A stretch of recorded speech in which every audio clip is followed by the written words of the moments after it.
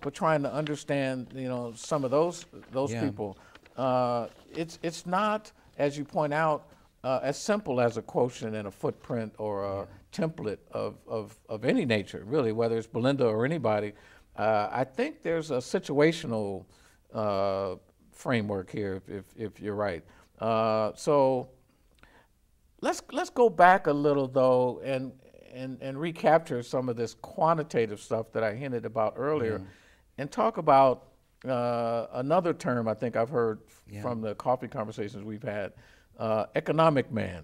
Ah, the, yes. the perfectly self-interested individual that is in business school that is working on i'm going to move to the bigger office the corner office i'm going to buy this nice car now i'm going to start Yeah. wearing different clothes and all like that and how how does this human behavior thing that Yeah. we've been talking about during this show tonight i hope you're hearing that in the audience we're, we're trying to help everybody be human here that's one theme here but Yeah. but how, how could you relate to two Well, I- thank you. I mean, uh, economic man versus, say, empathic man, right? Economic man versus, it's not a versus, but and. And if we study, well, I'm going to overgeneralize and oversimplify, so I apologize in advance, but I think this is a compelling oversimplification. If you study what is a human being in economics and in business schools, human beings are three things they are perfectly rational, they are selfish, and they are consistent in their preferences. Anybody know anybody like that? I don't think that any businessman, uh, human beings, that, which is to say, customers, clients, co-workers, hey, executives, hey, Ja- even put Jack Welch on this list. God, God bless him, right? Uh, are not we are not perfectly rational. We can be irrational. Uh, dignity violations. People, if people's dignity are violated, they get enraged. You can read about that every day in the news. I mean, there are there are melt, corporate meltdowns over what are perceived as dignity violations. Selfish. People are unpredictably generous.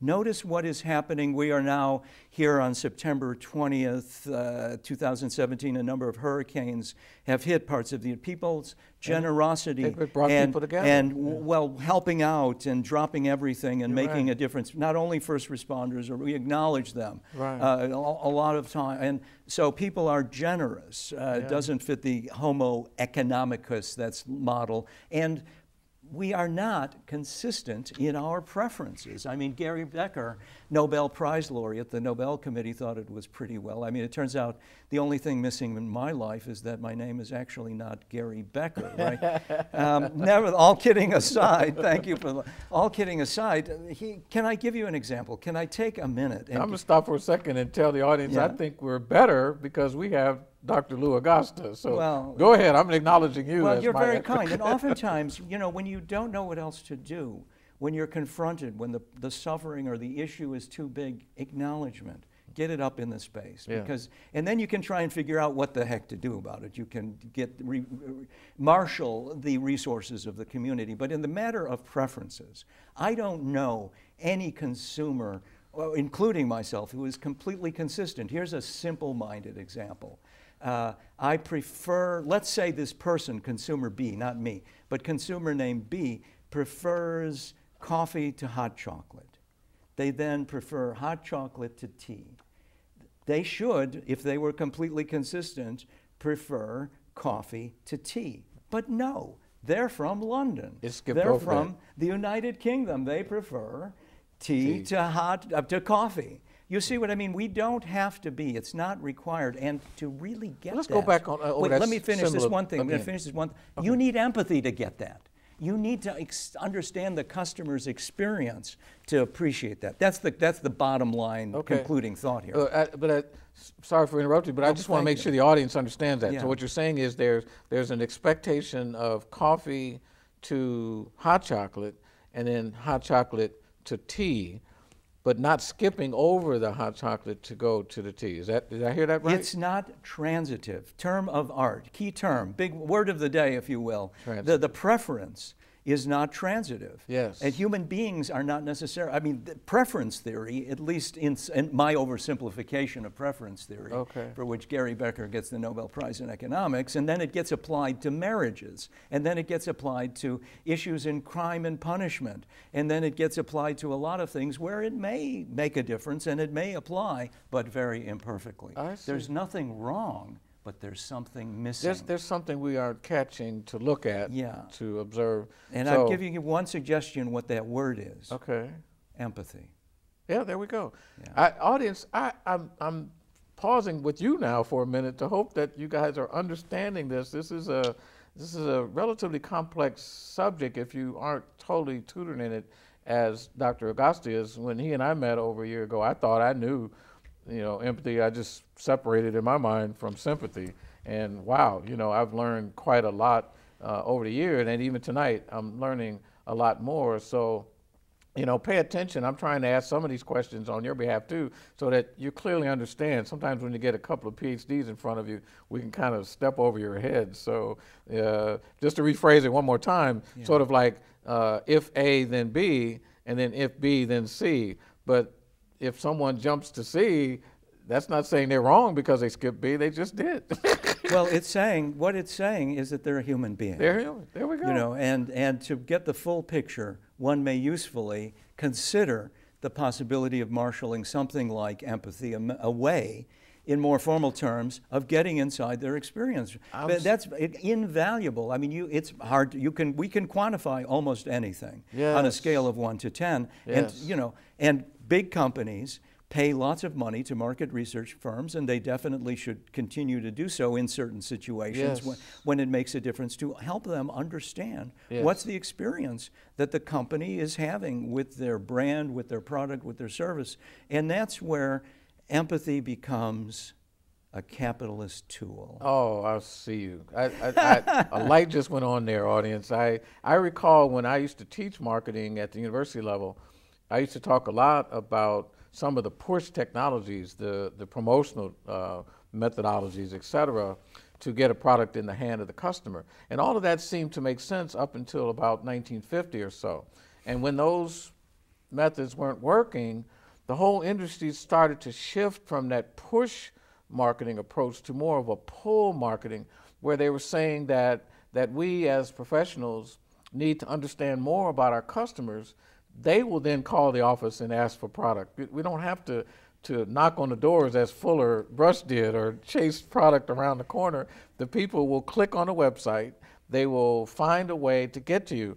Yeah. Uh, I would say, as we're talking out loud here, Lou, Amazon comes to mind as one of the most customer centric websites I've ever seen in my life. What is your opinion about that? Well, well, you know, I use Amazon, if not every day, certainly every month, and I order. I actually read books and uh, order a lot of them, you know, and a few, some music too from time to time. I mean, the, the, the, these guys have disintermediated the disintermediators. I mean, but there are challenges. I mean.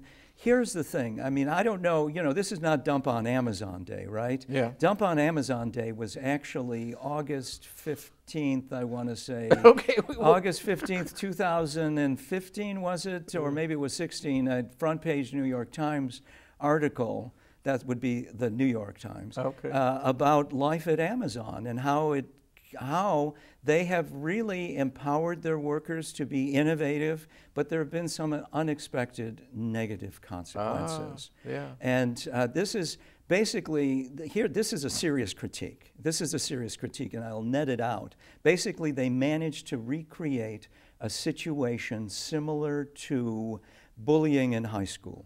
Where people's integrity and authenticity in reporting on coworkers anonymously to supervisors went off the rails. Ah, and it, what- it created a kind of it wasn't restricted to mean girls which uh, we pause and give a shout out to rachel simmons odd girl out uh, and uh, i want to say uh, dr pipher reviving Ophelia. It's not restricted to any gender. It was both men and women Yes. in, in, the, in the workplace uh, were engaging in this kind of very, not really very subtle aggression, but no, not physical, Yes. but uh, interpersonal. And in the face of, so leaving that aside uh, in the dump on Amazon day, in the face of bullying, what empathy has to do is say, let's draw a boundary.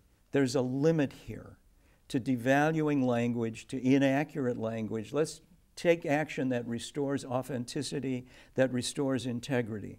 And uh, you know, there was something to be cleaned up there, and I gather that Jeff Bezos was very interested in cleaning it up between launching rockets and taking over other major areas of the economy of Yeah. the USA. Yeah. Uh, and in that sense, uh, I think that it would be useful, and in all fairness to them, I think they, they saw the need for some corrections and undertook them. Sometimes it's the, col- let's face it, it's the college of hard knocks. Yeah. And never was empathy needed more than in the college of hard knocks. Yeah. I get the sense that you have matriculated there, at least from time to time. I- and I have. Um, I have. so, you know, I can continue to kind of riff on, on that, but uh, um, empathy, so I'll pause for breath here. Yeah, I, I think the audience got your point, Lou. I I um, I remember studying Jeff Bezos in the earlier days. I, I knew him uh, even before he started Amazon to be a graduate student uh, studying physics,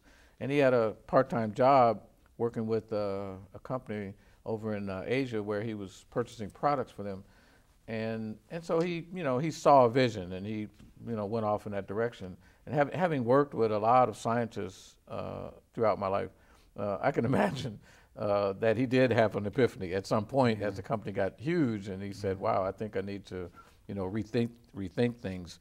Uh, but yeah, the the the one thing I, I want to share with the audience here is a conversation that Lou and I had before the show uh, about a project I worked with in, in Los Angeles uh, after the riots, uh, the Rodney King riots.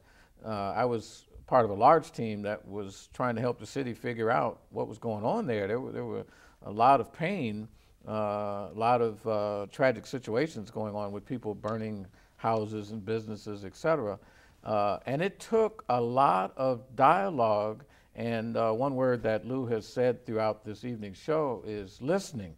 Uh, we had to open up our ears a bit and listen even between the lines of what people were saying to us. Sometimes the words they're using uh, can give you one message, but the body language, uh, the tonations, uh, et cetera, give you another. So it took uh, approximately a month and a half for us to really get a sense of what was bothering the people. And it had nothing to do with the verdict or Rodney King at all. It had to do with health care. So it put us in the right direction, thank goodness, because there was some empathy. And that's, uh, once again, to the studio audience to help you understand it. And I'm sorry, to the audience at home. That's one of the things that caused me to resonate with Lou when we first met one another. Uh, we didn't know a thing about each other, but we found that there was a connection there. We didn't even know what it was between the two of us after talking for a few minutes, but there was something resonating, and we decided amongst each other to explore that. You know, so we, we did it online a little bit. We we saw each other uh, once again face to face, and over time, the fact that we learned a lot about each other, each each of us, you know, he was teaching me to be empathetic. Uh, I then began to know how to have a better relationship uh, with Lou. So, I guess what I'm saying here is, Lou, it's it's, it's beyond since this is a community show, something that Dr. Russ Meeks started. Uh, this goes beyond the corporate office, does it not? Well, the short answer is yes. I mean, and the, and the business and the corporation is in the community. That's a fact. If the community doesn't flourish, the, the corporation, how can it succeed? Good point. I mean, we all stand or fall together. And whether, so let me try to like bring these two ideas together because whether I'm in the community or in the corporation, when people don't get the dignity, the respect, the empathy to which they feel they're entitled, they become enraged. Enraged. They get angry at the, and then they get very angry. Yes. And the application of some empathy uh, and some listening can soothe, can de escalate conflict. Now, by the time that buildings are burning. It may be a little, Little late. late, I mean, I'm saying then it becomes a law enforcement issue. And, and you know, I don't want to, what you said was accurate. It was not only Rodney King, and it was also the verdict. The verdict made a difference, to Yeah. be sure, when Yeah. was not appreciated. Nevertheless, but there were a lot of other issues around health care or, or it, it- that you surfaced, Yes. which was very interesting Yeah. uh, to hear that. And that applies, though, the, the nice and important, the empathy lesson here, which you have just provided, is that regardless of the context, the provisioning, getting a good listening, giving somebody a good listening, what's really going on here? Uh-huh. Something's bothering you, something's causing you to go off, Yes. can de escalate conflict. Yes. And, you know, by the, t- in general, I'm going to riff on this one more thought, Okay. especially with what's going on in the community. When power and violence are in inverse proportion, power and force are in inversely related. When power is up, there's no need for force or violence. When power goes down, then power, then violence comes out. And that's what we sometimes see. Yes. I'm glad I talked about the various power Yeah. models before then. So if I'm looking at reward power, it may think it may help me think differently. Like I remember I was trying to get some of my employees to work better together as groups. And before then, all of my evaluations were individualized. Yeah. So then I started creating group evaluations. You know, when they Yeah. worked together on groups, Yeah. I had the groups do peer evaluations of one another. Instead of me evaluating them, they evaluated one another. If the scores didn't come out right, they would always come to my office and I'd, I'd say, well, you guys evaluated one another. You need to go back and work that out, apparently, Yeah. because the numbers weren't good. You know, so yeah, there's some interesting uh, connections to a lot of the things you've laid on the audience tonight uh, that I think can apply to families, Yeah. right? And how uh, families work with their uh, siblings, Yeah. about how uh, relatives work with their cousins or uncles, Yeah. you know. Well, the short course in parenting first you do the homework, then you go to the mall.